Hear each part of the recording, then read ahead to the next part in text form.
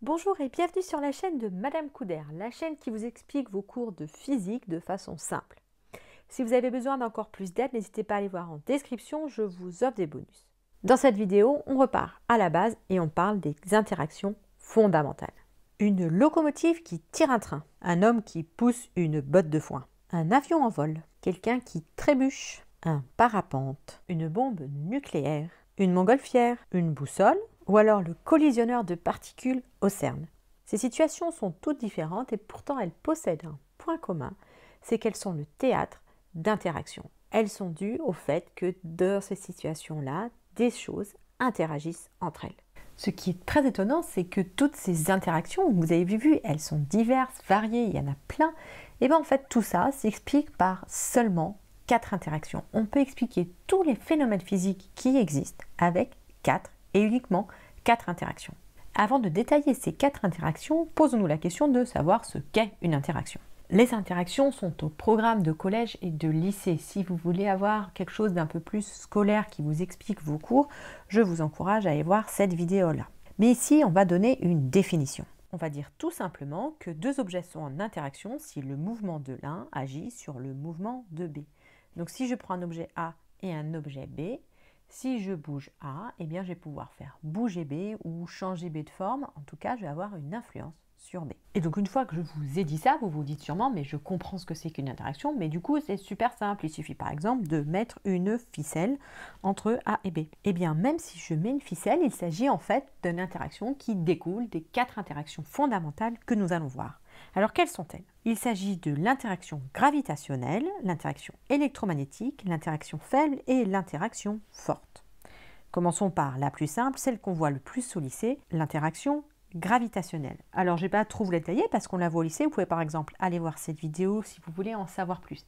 Ce qu'il faut retenir, c'est que c'est une interaction qui est liée aux masses des objets.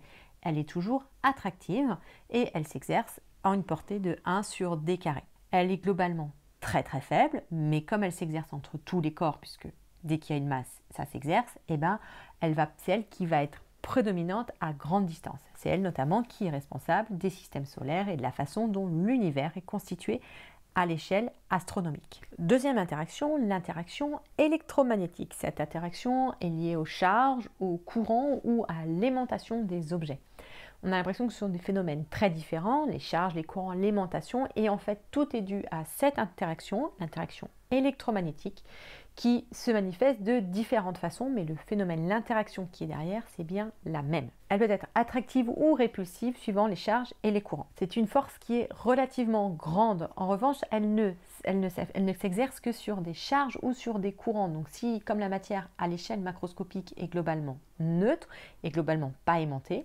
et eh bien du coup, on ne, la voit pas, si vous voulez, à l'échelle macroscopique. Il y a quelques phénomènes, comme par exemple les cheveux électrisés ou euh, les phénomènes d'aimantation sur le frigo, par exemple, qui nous font voir cette interaction, mais globalement, elle est peu présente, on peut l'observer difficilement à l'échelle macroscopique. En revanche, quand on zoome sur les molécules et qu'on regarde à l'échelle des liaisons moléculaires, alors là, c'est vraiment l'interaction prédominante. C'est elle notamment qui explique toute la chimie.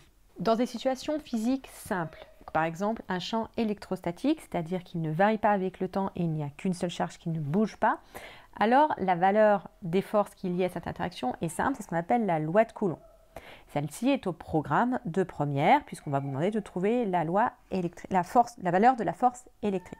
En revanche, le cas général, c'est-à-dire avec des charges qui bougent, des courants, des aimants, des champs qui varient dans le temps, etc., là, il existe encore des lois qu'on appelle les lois de Maxwell qui vont décrire cette interaction mais ces lois sont pour le coup au programme du post-bac. La troisième de ces interactions, c'est l'interaction forte. Là, on est vraiment très loin du programme de lycée puisque elle est liée aux quarks, aux couleurs des quarks, donc qui sont les composants des nucléons.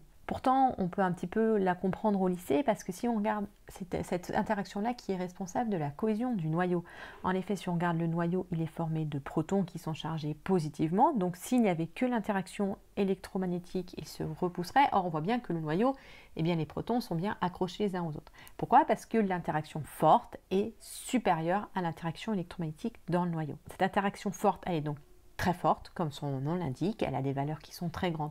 En revanche, sa portée est très très limitée. C'est pour ça qu'il faut être proche d'un objet pour ressentir cette interaction forte. Il faut être proche comme dans le noyau. Il faut être aussi proche que les protons les uns par rapport aux autres, c'est-à-dire environ à 10 puissance moins 15 mètres. Donc vraiment, c'est une interaction qu'on ne peut pas voir ni visualiser à l'échelle macroscopique. La quatrième de ces interactions, c'est l'interaction faible. Comme l'interaction forte, l'interaction faible a une portée très limitée. C'est la même portée que pour l'interaction forte, la seule différence c'est que là, la valeur est beaucoup plus faible, d'où son nom interaction faible. Il y a peu de manifestations visibles à l'échelle macroscopique de cette interaction, mais on peut par exemple citer la fusion qui a lieu dans les étoiles. Donc quelque part, si le Soleil brille et qu'il permet la vie sur Terre, c'est grâce à l'interaction faible. Et voilà, nous avons vu les quatre interactions fondamentales. Fondamentales, ça ne veut pas juste dire qu'elles sont plus importantes que les autres, ça veut dire que ce sont les seules qui existent. C'est-à-dire que toutes les interactions qu'on peut observer dans l'échelle macroscopique découlent en fait de ces quatre-là. Pour certains, ça va être facile. Par exemple, la boussole s'aligne avec le champ magnétique de la Terre, c'est bien une interaction électromagnétique. De même pour le collisionneur du CERN, les particules sont guidées par le champ électrique du collisionneur. La bombe atomique, c'est lié aux réactions nucléaires, donc ici, ça va être l'interaction faible. Ici, si je trébuche, c'est que je suis attiré par la Terre et la Terre m'attire via l'interaction gravitationnelle. Donc, Siana, c'est évident. Mais si vous voyez, par exemple, là, le monsieur, il pousse une botte de foin. Donc, c'est, on pourrait appeler une force de contact. Voilà, on pousse. Pour comprendre ça, il faut bien comprendre qu'à l'échelle microscopique, la notion de contact n'existe pas. À l'échelle macroscopique, nous, on touche quelque chose, on ressent nos nerfs, mais en fait, quand on plonge dans la matière, en fait, les atomes ne se touchent pas, et encore moins les noyaux.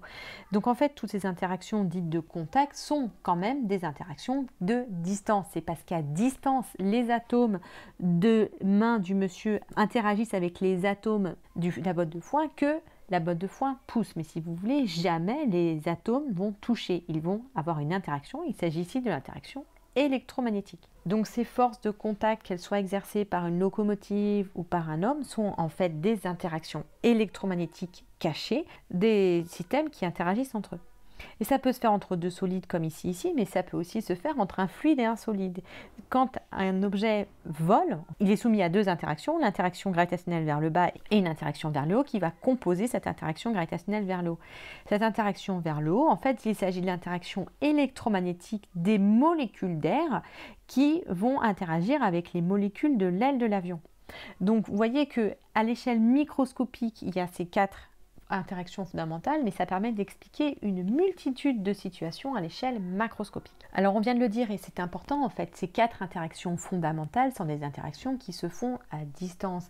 La notion de toucher, la notion de contact n'existe qu'à l'échelle macroscopique. Ça veut dire que en fait toutes les interactions qu'on observe sont en fait des interactions qui se font à distance. Je peux interagir avec un objet sans le toucher à distance. Après cette distance-là peut être plus ou moins voire très très courte dans le cas des interactions faibles et fortes, ce qui fait que nous on a l'impression que ça touche. Mais en fait, il n'y a pas de contact entre les particules ces particules vont créer des champs qui sont liés à ces interactions. Et en fait, c'est aussi en étudiant ces champs qu'on va pouvoir comprendre ces interactions. Et ça, c'est important à comprendre dès le lycée parce que c'est ça qui va être à la base de beaucoup de choses et beaucoup de phénomènes qu'on va voir post-bac. À l'échelle macroscopique, en fait, on va pouvoir distinguer deux sortes de forces. Les premiers types de ces forces, c'est ces forces qui découlent directement de l'interaction. Ça veut notamment dire que sur ces forces, eh bien, il va y avoir les champs, on va encore avoir un lien entre les forces et les champs puisque ça en découle directement. Par exemple, on peut citer le poids, on peut aussi citer euh, la force électrostatique, donc on voit encore le champ, etc.